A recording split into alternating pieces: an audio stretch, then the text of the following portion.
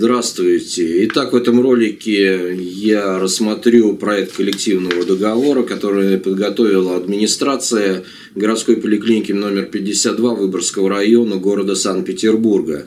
Напомню вам, что администрация поликлиники выпустила отдельный секретный приказ, где обозначены 10 человек, 5 человек от администрации, 5 человек типа от коллектива, которые освобождаются от работы для написания проекта коллективного договора, а, который в дальнейшем должен быть заключен у нас в подразделении в городской поликлинике номер 52. При а, опросе людей, которые в этом приказе значатся как представители поликлиники, никто в этом мероприятии не участвовал, никто не был освобожден ни от какой работы, никто этого приказа в глаза не видел. Но все же проект коллективного договора появился в обозрении, непосредственно вы, выставлен на сайте городской поликлиники а, номер 52. И вот я скачал это все себе на компьютер и непосредственно первую основную часть э, распечатал на бумаге. И сейчас мы быстренько пробежимся по коллективному, по проекту коллективного договора, который подготовлен неизвестными лицами, а, потому что от именно коллектива никто в этом участие не принимал. Итак, основной посыл, который мы дали именно 31 числа а, непосредственно нашему работодателю, главному врачу от профсоюза действия, мы написали такую бумагу, ее завизировали, и вот первый абзац у нас звучит так. По содержанию коллективный договор администрации не выходит за пределы того, что есть в нормативных документах, в том числе Трудовом кодексе Российской Федерации, а действительным содержанием коллективного договора может считаться лишь то, что улучшает положение работников по сравнению с другими нормами, иначе он дополнительно работникам ничего не дает. И выставлять его как коллективный договор – есть обман.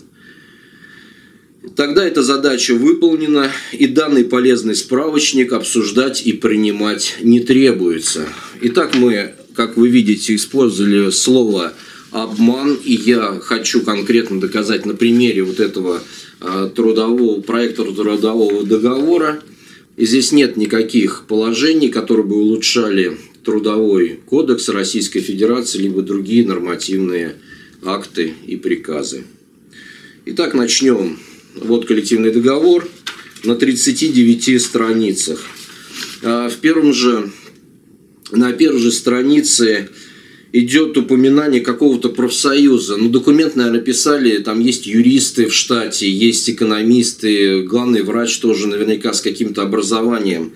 Но опять же, что за подход к документам? Что за выборный орган первичной профсоюзной организации? Какой профсоюз упоминается? Если упоминается профсоюз действия, извините, у нас нету такой Горецкой Веры Александровны. Если упоминается другой какой-то профсоюз, ну назовите этот профсоюз. Если это ФНПРовский профсоюз, ну извините, он уже перестал выполнять свои функции именно профсоюз уже давно. Вот совсем недавний пример. То есть я подошел к Горецкой Вере Александровне и говорю, возьмите меня, ну, пригласите меня на отчетное собрание, отчетно-выборное, которое у вас должно там состояться в апреле.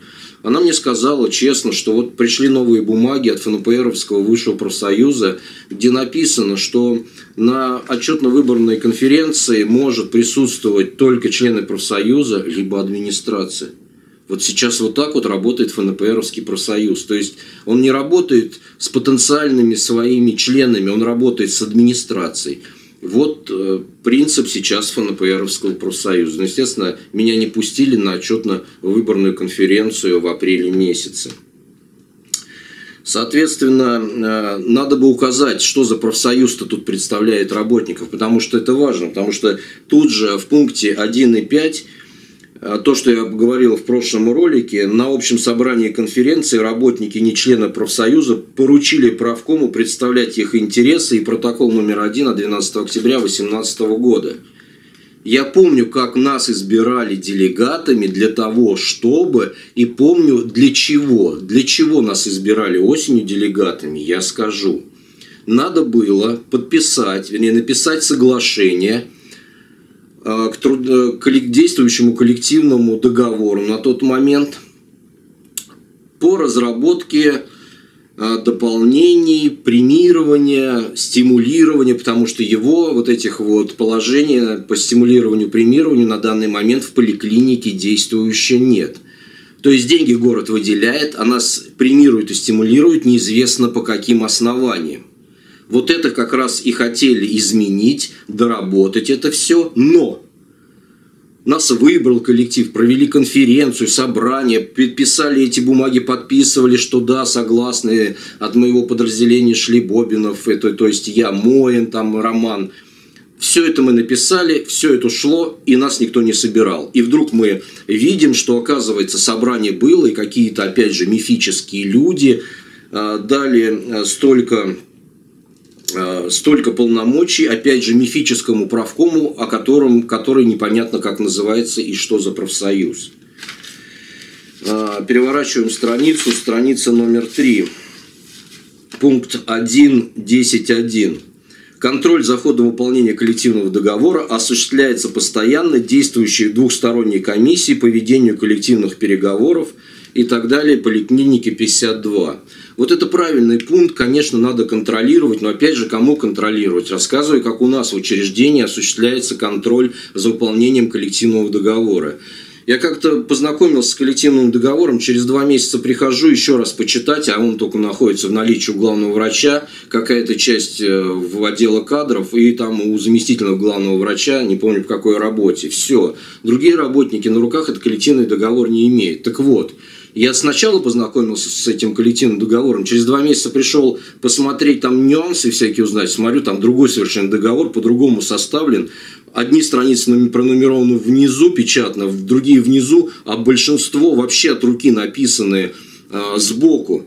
То есть люди просто берут коллективный договор, и так как нету никакого контроля, они просто его там дополняют, переворачивают. Вот такой осуществляется контроль. Поэтому, да, мы создадим единый единый представительный орган на момент э, принятия коллективного договора, но дальше же его надо, э, его надо дальше как-то контролировать. Контролировать его можно следующим образом. В принципе, можно контролировать каждому работнику, даже не единому этому представительному органу. Можно, например, и то мы профсоюз действий поставил этот пункт, распечатать этот коллективный договор в количестве 200 экземпляров и раздать в подразделение – и все будет понятно. Вот книжечка на руках, вот это выполняется, вот это не выполняется. Но вот пока распечатывать нечего, потому что вот этот вот э, проект коллективного договора, коллективного договора от администрации не отвечает своим нормативам. А дальше. Лица, участвующие в коллективных переговорах, подготовке проекта коллективного договора освобождаются от основной работы до трех месяцев – то есть, чувствуете, они себя освободили до трех месяцев, написали какую-то ерунду, по-другому это не сказать. А те люди, которые именно заинтересованы в этом, ни от чего не, не освобождены. Вот, например, я. Вместо того, чтобы сейчас ехать и готовить ребенка к отправке в пионерский лагерь, я должен сидеть и смотреть вот на эту вот ерунду, которую вы нам тут подсовываете под видом коллективного договора. У меня тоже есть своя жизнь. Освободите. Где этот приказ, чтобы нас, тех, кто выбрал коллектив, вот этих вот людей, которые мы до сих пор не знаем полный список, чтобы освободили непосредственно от работы до трех месяцев. Почему до трех месяцев спрашивают? А что это такое? Почему три месяца? Почему это в трудовом кодексе написано три месяца? Я объясню. Вот, например, коллектив выбрал меня, представлять их интерес. За мной находится 100 человек. Меня выбрали 100 человек. Я иду на вот это вот, эм, а, на переговоры, и там меня ломают. Ну, просто ломают, убеждают, подсовывают мне какие-нибудь интересные вещи конкретно для меня. Для меня. Но вы поймите, я представляю именно интересы коллектива. Я должен выслушать. То есть я пришел туда не с пустыми руками. Меня коллектив обязал добиться этого, пятого, десятого. Я прихожу, излагаю свое мнение. Мне говорят, нет, нельзя. Нет, мы не пойдем, нет, мы не согласны. Хорошо, я вас выслушал, у нас договориться не получается. Я беру вот эти вот все ваши доводы, иду к коллективу и говорю, ребята, они не соглашаются. Вот у, у них поэтому вот такие вот доводы. И чувствуете, если вот, например, профсоюз действий непосредственно сейчас подал 219 пунктов предложений вот вашу вот эту вот э, ерунду, то, соответственно, 219 пунктов мы за 2 часа и 3 часа не обсудим. У меня там по каждому пункту есть обоснования, которые мне подготовили члены профсоюза, а также коллеги по отделению скорой помощи. Мы просто возмущены тому, чему вы, чего вы нам тут подсунули. И поэтому три месяца освобождайте отдельным приказом, освобождайте. Вот так это все делается. И вы об этом пишете пункт непосредственно 1.12. Делайте, как сами себе пишете. Переворачиваем страницу. Э, четыре, четыре страницы, пока ни одного пункта, который бы улучшало положение работников, мы не заметили. Практически пока только нарушения, под которыми вы просто подписываетесь этим проектом коллективного договора. Итак, третий пункт – оплата гарантированной компенсации выплаты. О чем идет речь? То есть они приводят здесь непосредственно а, закон об оплате труда работников государственных учреждений. Мы знаем этот закон. Зачем вы его тут переписываете, этот закон? Непонятно. То есть сообщайте нам, что такое заработная плата. Это очень важно. Естественно, я хочу узнать, что такое заработная плата, но это все написано в этом законе. И дальше, смотрите, вот они берут этот закон и шестую по восемнадцатую страницу просто э, сделана такая вещь, как копирование.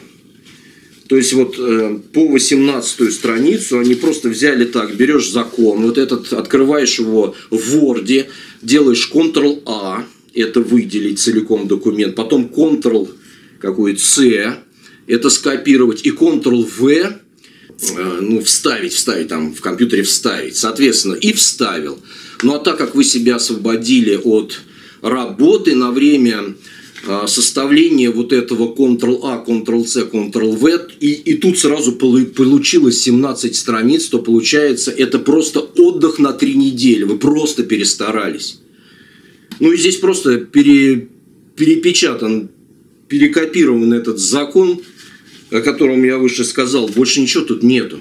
То есть, опять же, вот смотрите, идет 18 страница, пока ничего не сказано, никаких конкретных цифр, ничего не сказано, как вот этот проект коллективного договора а, улучшает мое положение – ну, наконец-то вышли на выплаты стимулирующего характера. Опять же, чувствуете, да, то есть мы осенью не смогли написать этот проект, но наконец-то выплаты стимулирующего характера появилась хоть в этом проекте. Тогда мы не смогли ничего составить, нас не вызвали, не получилось по неизвестным причинам. А тут вот наконец-то получается. И вот первая же строчка, пункт 5.1. Работникам поликлиники в пределах выделенного бюджетных ассигнований почему-то могут – устанавливаются следующие выплаты. Что значит могут? Вам правительство Санкт-Петербурга выделяет деньги. Если вы не знаете, у меня есть документ от трехсторонней комиссии, где конкретно сказано, из чего состоит заработная плата и сколько процентов заложено в городе на тех, те деньги, которые, нам, ну, которые выдаются непосредственно городской поликлинике. Так-то вот там написано, что 30% из этой суммы идет на стимулирование, то есть должна заработная плата там конкретно состоять. 60% а, состоять из оклада должностного, 15% это компенсационные выплаты и 30% это непосредственно стимулирующие. То есть вам город выдает деньги. Я представлю в этом ролике таблицу, сколько вам денег выдается и сколько вы даете нам. И получается, что стимулирующих выплат мы не видим, а те деньги, которые вы нам иногда кидаете, вот, например, премия за квартал была у фельдшеров 2 700. Они начислены непонятно на что. Что это за квартальная премия 2 700? Ну и вот выплаты стимулирующего характера. Просматриваем, что вы-то здесь написали. А, ничего. Опять же, просто идет дубляж документов. И вот, наконец-то, появляется ваша часть. Вот здесь вот я подумал даже, что у вас есть, эм, наконец-то, на 19 странице вы додумались написать что-то самостоятельно. То есть, вот главный врач имеет право, такого я в документах не встречал. Ни в Трудовом кодексе, нигде не встречал.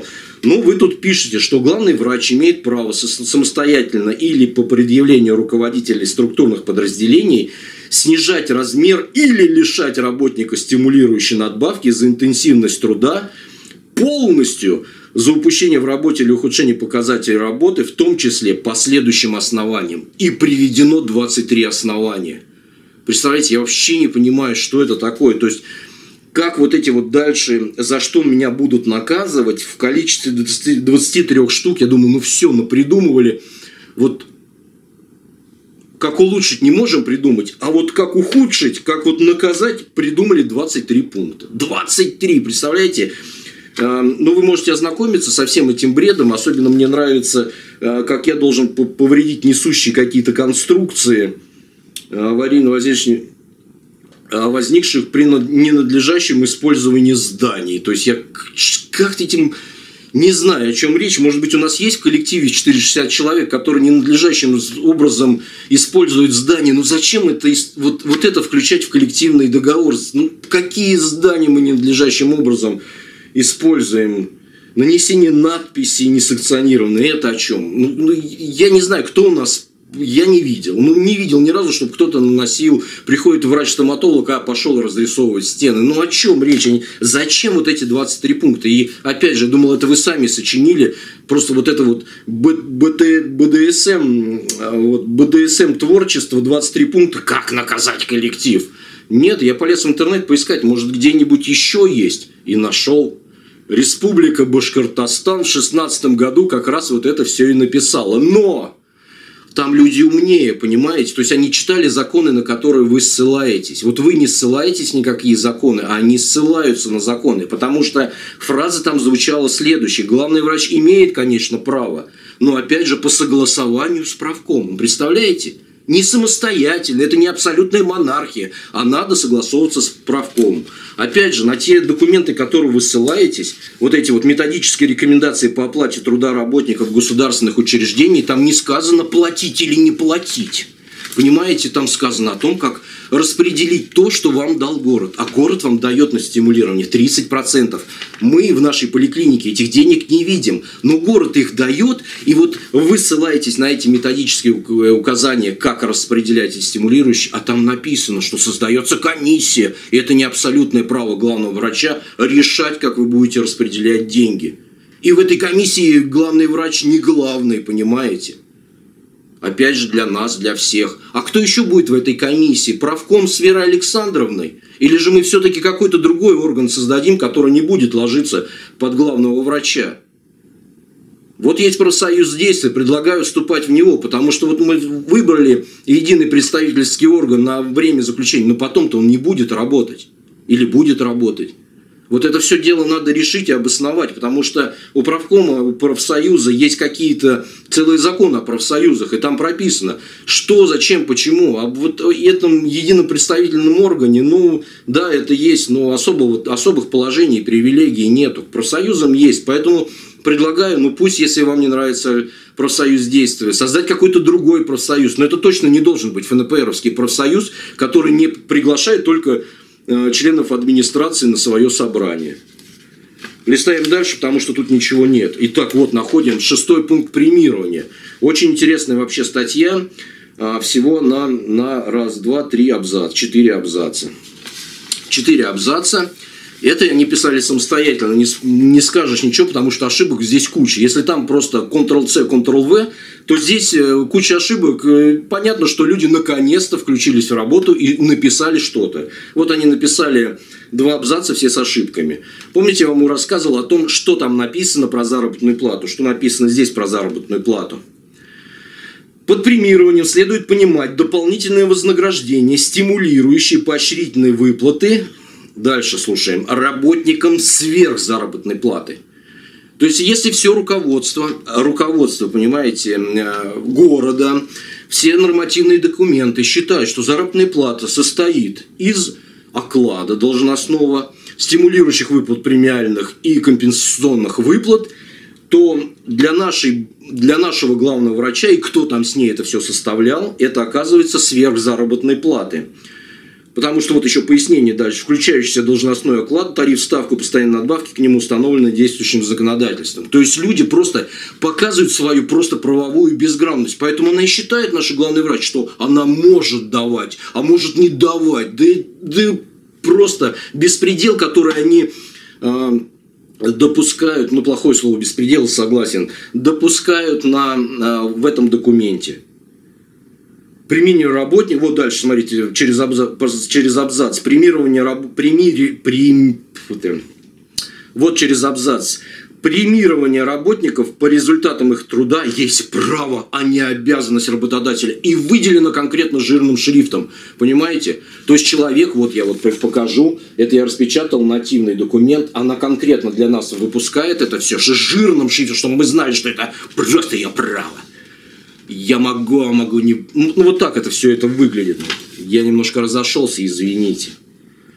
Так вот, мне вот интересно узнать у главного врача, скажите, пожалуйста, если все считают, что стимулирование, компенсация и оклад – это вот заработная плата, что же тогда остается? То есть премии стимулирующие, это все идет в это. Что же тогда дополнительное вознаграждение, стимулирующие поощрительные выплаты, то есть какие-то отдельно стимулирующие поощрительные, работникам сверх заработной платы? Что это имеется в виду? Мы думали, не придумали ничего. У нас э, остается вариант только взятки и откаты, которые идут сверх зарплаты. Что это такое вообще для большинства работников, для 460 работников нашего коллектива? Может, вы проговорили здесь и конкретно для себя написали вот это все?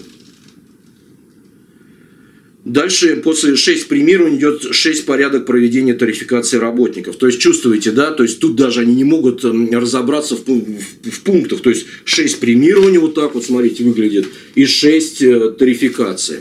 То есть я так понимаю, вот есть 6 премирований, блин, ну, ну э, и выкинуть и все. Вот 6, было 5, 6, вот 6, 6, а вот про премирование можно выкинуть. Для чего это сделано, я не понимаю. Или вы просто просто тупо не можете просмотреть документ и исправить грамматические ошибки.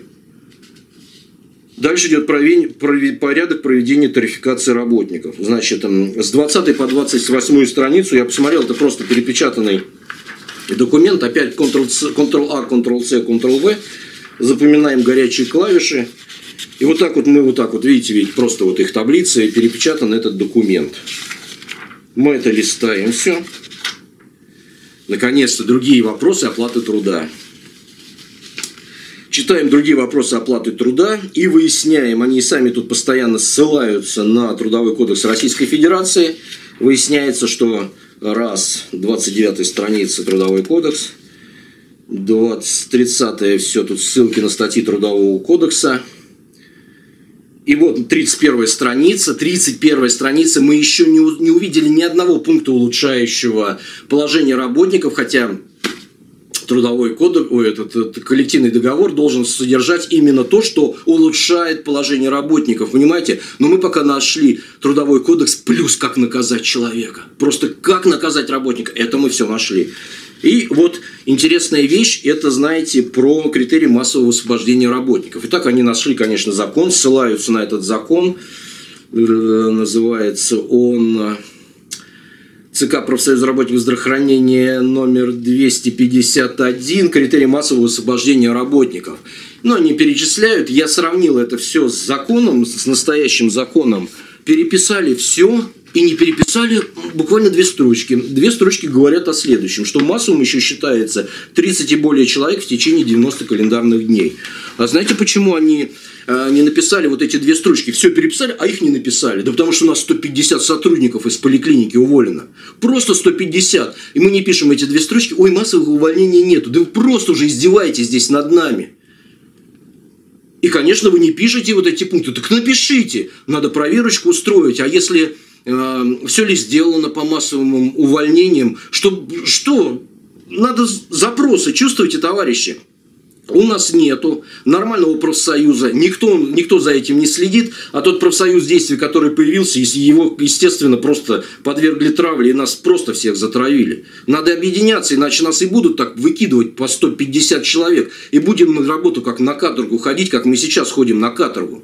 Надо объединяться, по-другому никак.